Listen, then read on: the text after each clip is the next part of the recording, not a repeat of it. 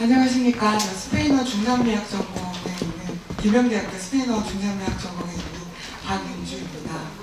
아, 앞에서 그 한 분이 말씀하시기를 이렇게 큰 행사인 줄 몰랐다라고 얘기하셨는데 저도 같은 마음으로 어, 비슷한 마음으로 이제 발표를 준비하게 됐는데요. 시간이 굉장히 부족하니까 최대한 짧고 간결하게 발표를 하도록 노력을 하겠습니다.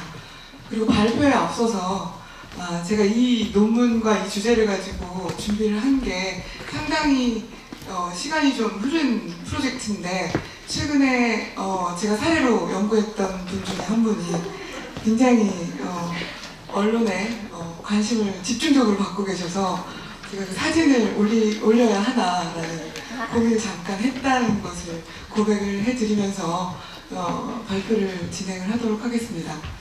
아, 일단 그 연구 배경을 잠깐 설명을 드리면 어, 그뭐 이미 많이들 드- 들어보셨겠지만 최근에 라틴 아메리카를 뿐만 아니라 세계적으로 여성 정치인들의 어, 그 부각이 여성 정치인들이 많이 부상하고 있고요. 그래서 뭐 퍼센테이지를 보면 이런 식으로 어, 많이 뭐 많이 그러니까 개선이 되었다라고 평가를 합니다. 그럼에도 불구하고 여성 정치인들의 퍼센테이지가 뭐 아시아 같은 경우는 19.2%라서 어, 우리가 기대하는 바에 상당히 못 미치지만 지난 20년간을 어, 돌아보면 상당한 발전을 이뤘다라고 이제 평가를 받고 있고요. 어, 주요한 원인 중에는 뭐 유엔의 여성기구의 노력, 여성 할당제, 뭐 각 국가에서 일어난 민주화, 그 다음에 뭐 소프트 파워로서의 여성 정치인들의 리더십의 부상, 그 다음에 무엇보다도 중요한 여성 운동의 역할 같은 것들이 그 지목이 되고 있습니다.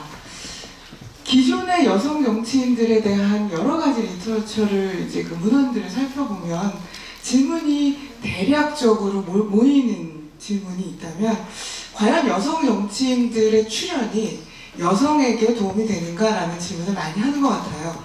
그 지점에서 여성 정치인 그들은 누구인가라는 질문을 또 해보고 생물학적인 여성이 여성 정책을 가져오는가라는 질문부터 시작을 하면서 연구들이 굉장히 사례 중심의 연구가 많이 진행이 되었습니다.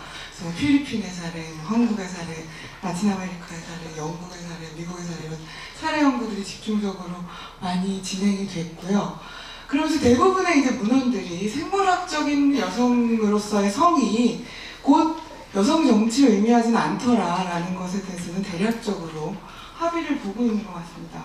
그렇다면 우리의 이제 질문은 언제 그렇다면 누가 여성 정치를 에 도움이 되는 혹은 베네핏을 주는 여성 정치를 하는 여성 정치인들은 언제 나오는가라는 자연스러운 질문과 맞닥뜨려지는데요. 그동안에 이제 리터처 그 문헌들을 보면은 그 여성의 리더십을 여성주의 리더십이냐 아니면 그냥 여성 리더십이냐 혹은 여성적인 리더십이냐를 좀 갈라서 보는 분들도 있고요.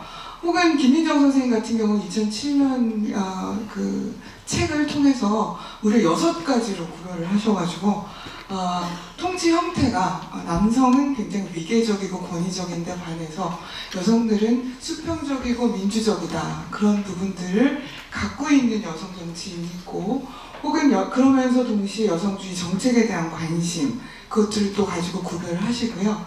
그 다음에 여성적인 가치, 페미닌하게 보이는 여성적으로 보이는 리더십을 가지고도 또 이렇게 조합을 하셔서 무려 여섯 가지의 어, 여성 리더십의 어, 타입들을 유형들을 만들려고 노력을 해본 해, 하셨습니다.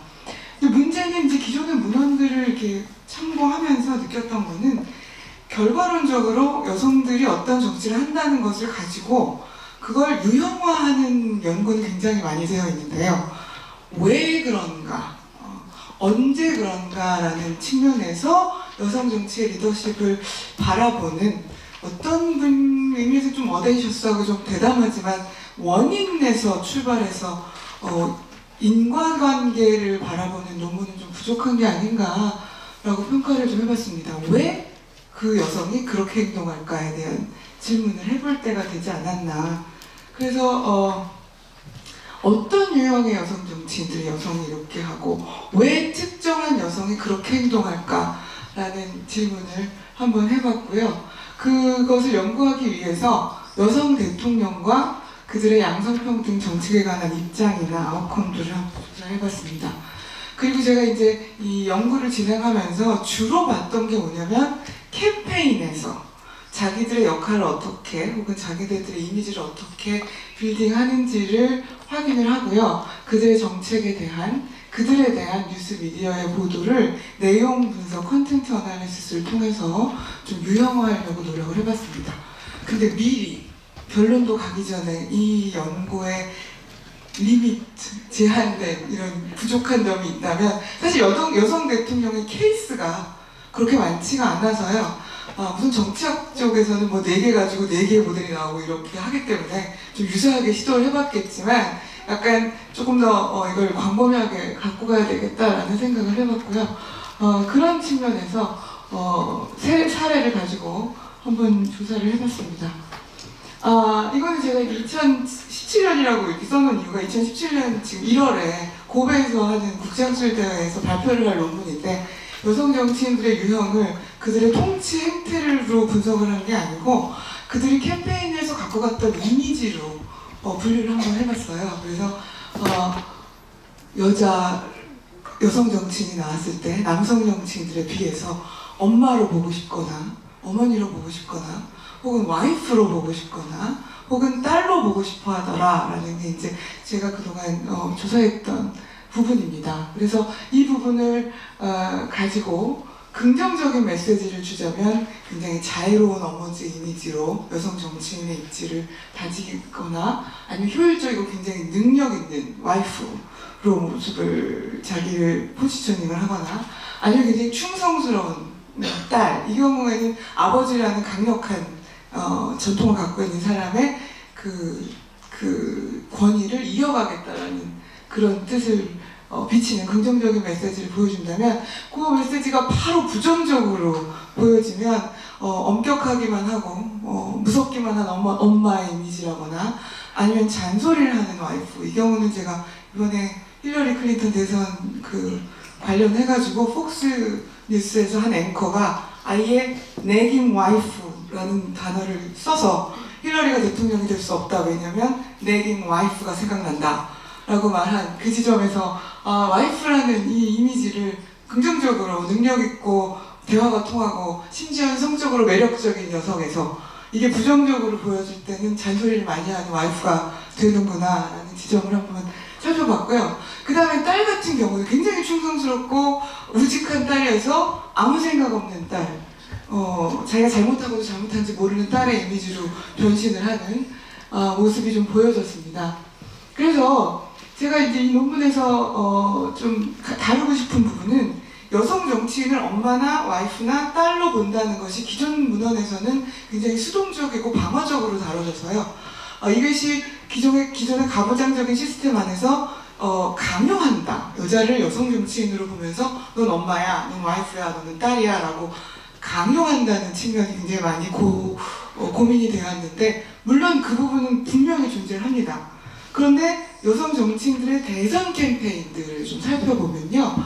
이걸 좀 적극적으로 활용한다거나 할까? 아니면 좀 에이전트를 가지고 이 부분들을 좀 어, 자기가 어, 유용하게 만들려는 그런 측면이 보이기도 하더라. 그래서 자신의 와이프나 남편이나 배우자나 자기나 아버지에 대해서 자주 자주 언급을 한다거나 아니면 남편이나 아버지의 후광회를 적극적으로 활용해서 그들의 지지층을 모아보려고 하는 어, 다양한 움직임이 단순히 수동적으로 일어나는 것이 아니라 적극적으로 일어나는 사례들을 볼 수가 있었습니다. 첫 번째 사례는 어, 아르헨티나의 크리스티나 페르난데스 대 키르치네르라는 여성 대통령인데요. 어, 네스토르 키르치네르라는 전임 대통령의 남편이었습니다.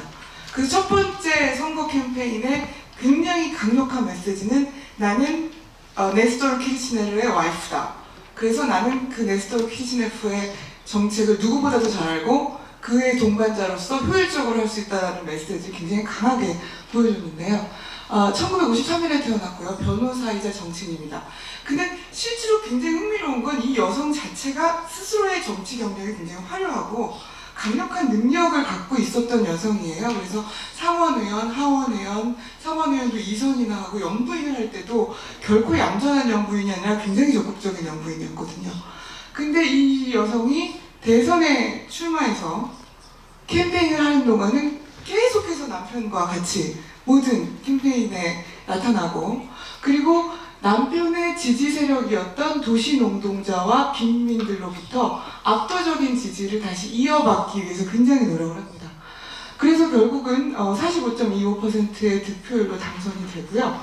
당선되고 난 다음에 처음 어, 구성한 내각에서 17명 중에 무려 7명의 장관을 남편이 임명했던 사람을 고스란히 다시 임명하는 그런 어, 태도를 보이는 거죠.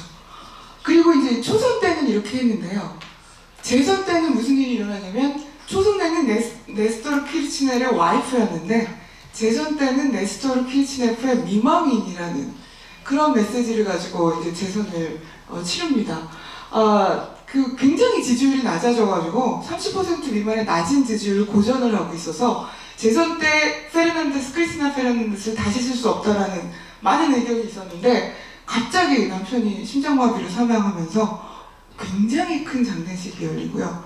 이용하려고 했다라는 건 좀 너무나 악의적이겠지만 전반적으로 아르헨티나에 가슴 아프다, 불쌍하다라는 그 정서가 형성이 되면서 갑자기 30% 미만의 지지율을 기록하던 페르난데스가 무려 53%의 득표율을 당선하게 되는데요. 2위와의 격차가 무려 17%로 1983년 민주화 이후로 가장 큰 격차로 대통령에 당선돼. 그러니까 두 번의 선거에 있어서 두 번 다, 어, 밖에서도 와이프로 규정했지만 본인도 상당 부분 주체적으로 이 와이프라는, 부인이라는 이미지를 활용을 해서 선거를 치릅니다. 그러면 크리스나 페르난데스 대 키르치네르 대통령의 양성평등 관련 정책은 어떠한가? 굉장히 많은 인터뷰에서 키르치네르 그 후보가 자기는 페미니스트가 아니라는 말을 여러 차례 강조하거든요. 그리고 이제 아르헨티나는 카톨릭 사회이기 때문에 그 낙태에 대해서 굉장히 보수적인 입장을 펼치고 있는데 자기는 낙태를 반대하고 낙태 합법화는 해서는 안 된다고 계속 계속 주장을 해요. 그래서 이제 크리스 그 아르헨티나 이제 미디어에서는 혹시 혹시 매력적인 와이프라는 이미지가 다칠까봐 여성적이지 않아 보이는 어떠한 발언도 하고 싶어 하지 않는 거 아니냐라고 여성계가 비판을 할 정도로 굉장히 모호한 어, 입장을 취하고요. 그 다음에 이제 휴먼 라이츠 와치에서 아주 실질적으로 어, 크리스티나 페르난데스 덕분에 합법적인 낙태를 위한 모든 노력들이 투과되었다라고 비판을 합니다. 그리고 근데 유일하게 크리스티나 페르난데스 대통령이 한 게 있다면 정치권으로 여성들을 더 많이 끌어들이려고 노력을 한 게 아닌가 싶고요. 그리고 동성 간의 혼인을 합법화시킵니다. 그 여성 정책은 거의 없었는데요. 그 동성애자들을 위한 정책을 펴면서 그 카톨릭 교회랑 대립을 합니다. 두 번째 케이스는 미첼 바첼렛으로 이분은 음, 메시지가 칠레의 어머니, 어머니 같은 후덕한 따뜻한 능력 있는 엄마의 이미지였고요. 1951년에 출생을 했고 직업부터가 소아과 의사였고요. 그 다음에 정치 경력도 굉장히 화려합니다. 보건부 장관, 국방부 장관 그리고 대통령을 했고요. 나중에 유엔 여성기구의 사무총장도 역임을 하고요. 성향은 중도 좌파고 사회당 출신입니다. 일기 때는 어, 어, 이혼녀이자 새 어의 엄마로서 어, 책임감을 갖고 사회를 이끌어갈 수 있는 그런 메시지를 많이 보여줬고요.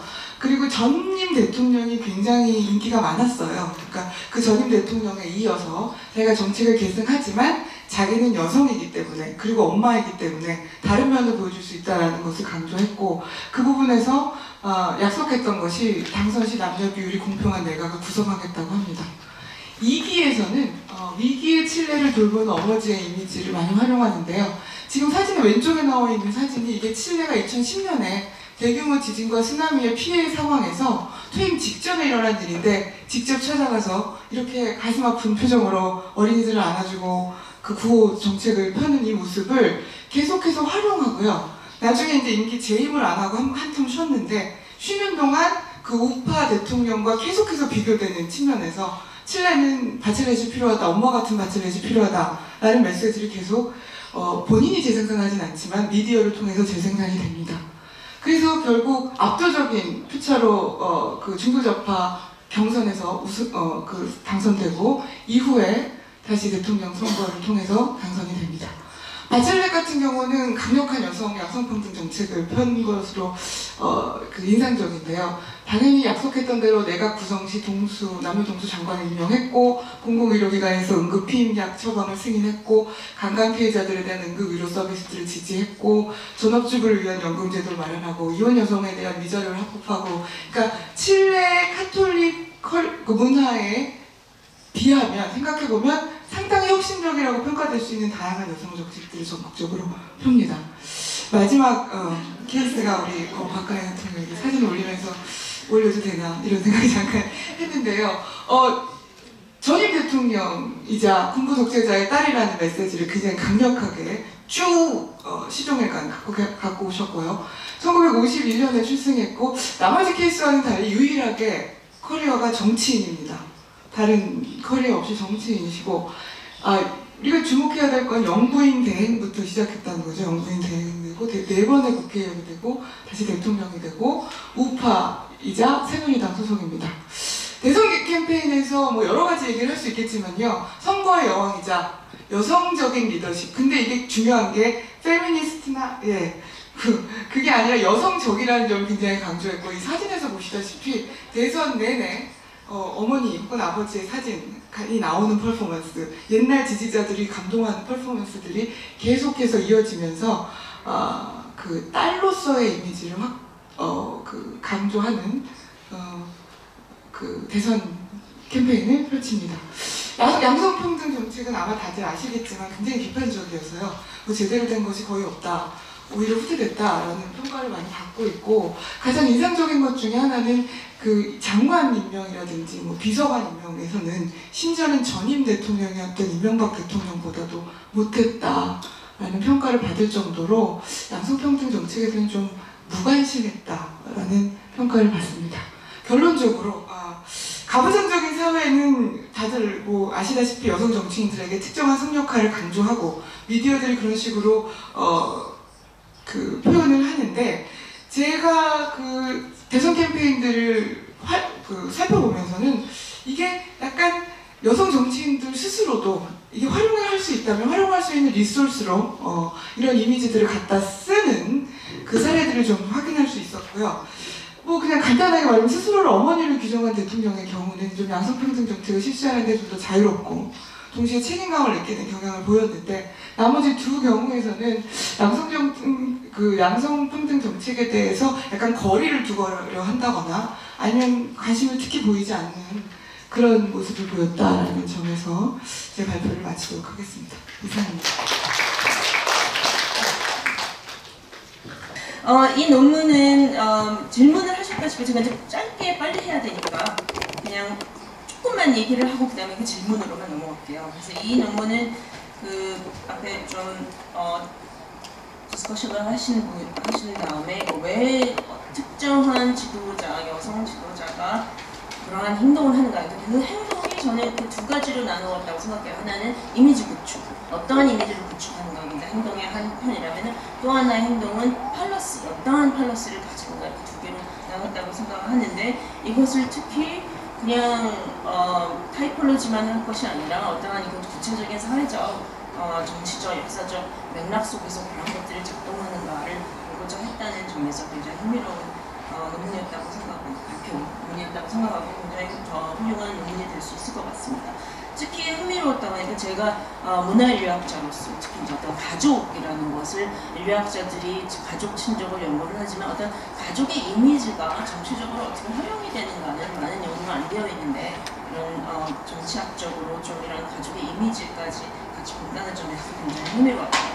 그래서 어, 빨리 넘어가면 크게 볼 때는 세 가지의 논점, 질문들이 나올 수 있을 것 같은데 대답을 지금 다 안 하셔도 되고 굉장히 흥미롭다라는 생각에서 제가 이제 하나 세 가지로 나눠봤습니다. 근데 이제 이렇게 지금 여성의 이미지를 말씀하시고 계실 때 어떠한 그 다큐멘터리가 생각이 나냐면은 Miss Representation이라고 그러니까 이게 약간 중의적인 의미가 있는 Miss Representation 그러니까 representation이 잘못되어 있다라과 미스 뭐 representation 이렇게 뭐 미스 뭐뭐 코리아 미스 뭐 이런 것처럼 거기서 얘기하고 있는 게 뭐냐면 여성 지도자들은 항상 뭔가 다른 걸 가지고 얘기가 된다. 그러니까 그 사람의 어떤 지도력이나 정책의 문제가 아니라 그 사람의 외모. 뭐 예를 들어서 그 뭐 Fox News 같은 거 미, 미국에서 특히 거기서 약간 뭐 옐로우, 옐로우 저널리즘이 특히 더 그렇겠지만 그 힐러리에 대해서 하, 뭐 90살 먹은 할머니 같이 옷을 입고 있냐 그리고 뭐 그리고 페일린 같은 경우는 무슨 plastic surgery를 했냐 안 했느냐 뭐 이런 식의 discussion이 된다는 점 그래서 굉장히 어떻게 보면은 그 여성 혐오하고도 연관이 되어서 여성 지도자들이 항상 약간 굉장히 좀 수준 낮게 만드는 것들을 어, 언급을 하고 있는데 사실 아까 이제 negative 어, 이미지를 말씀하셨을 때도 그런 것이 생각이 났어요. 그러니까 잔소리하는 부인인 거죠. 그냥 부인이 아니라 잔소리하는 부인.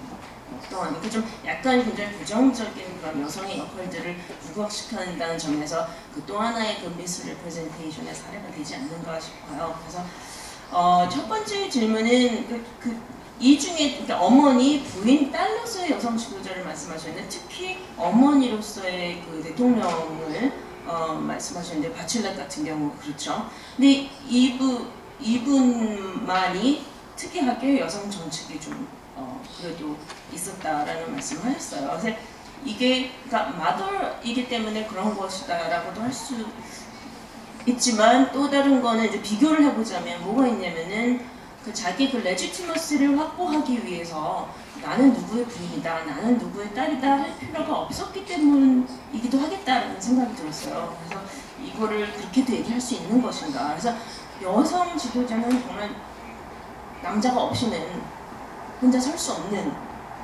것이라서 그런 그 레지티머스를 그렇게 확보한 사람은 여성 정책이 없는 것이고 마더라는 것은 그냥 뭐 어차피 자기는 엄마니까 그래서 그런 경우에는 어, 확실하게 정책이 어, 있었던 것인가라는 궁금증이 생기고요.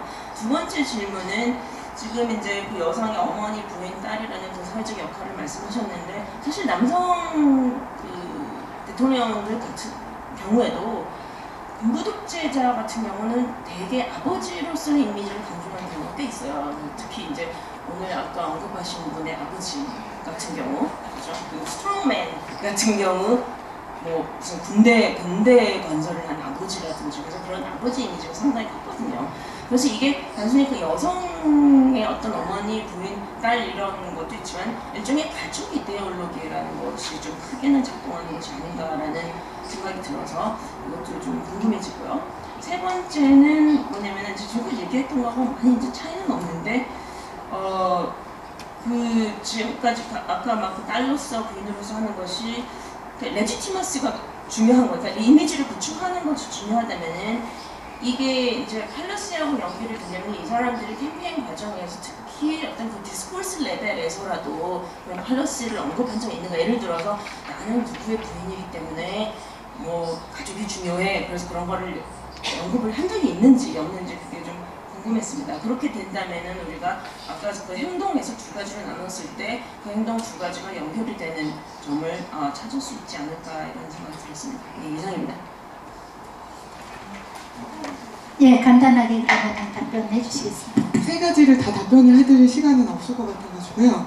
2번, 3번은 맞습니다. 제가 보기에는 그 남성은 그러면 뭔가 여성 역할이 없나요?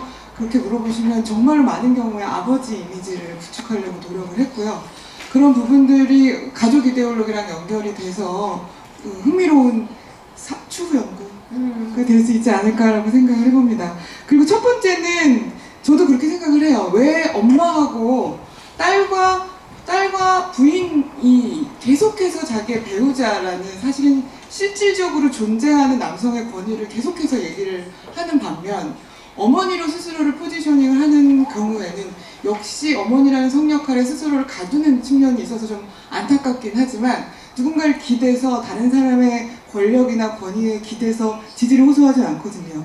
그리고 대부분의 경우 어머니라고 스스로를 설정하는 메시지를 그 보내는 미첼 아 바첼렛 같은 경우에는 많은 경우 나의 딸들에게 딸들에게 좋은 딸들에게 트레디션을 주는 딸들의 삶을 어, 바꾸고 싶은 이런 가, 레토릭이 같이 가더라고요. 그래서 그게 같이 가니까 자연스럽게 여성평등, 양성평등 정책에 대한 기본적인 리즈닝을 대선 캠페인부터 깔고 갈 수 있었던 것 같은데 크리스나 페르난데스 같은 경우에는 남편의 노동 정책을 계승하겠다. 그래서 굉장히 진보적인 노동 정책들을 많이 펴거든요. 그러면 그 노동 정책이 여성한테 도움이 됩니까? 라고 물어보면 나는 여자만 생각하는 건 아니다라고 계속 선을 긋는 모습을 보여요. 그래서 이것을 일치해서 바라보고 싶어 하는 사람들에게 이질감을 주지 않으려는 노력이 좀 약간 보였다. 그 사람의 그 discourse 레벨에서 다, 그 담론 속에서. 딸 같은 경우는 솔직히 말하면 저는 다른 케이스도 좀 봐야 될 것 같다는 좀 생각이 듭니다. 너무나 아웃라이어일 수가 있다라는 위험하다는 생각이 최근에 들어서 다른 딸로서의 여성 대통령을 좀 더 봐야겠지만 역시 말씀하신 대로 레지티머시 부분이 굉장히 중요하지 않나 라는 생각이 듭니다. 감사합니다.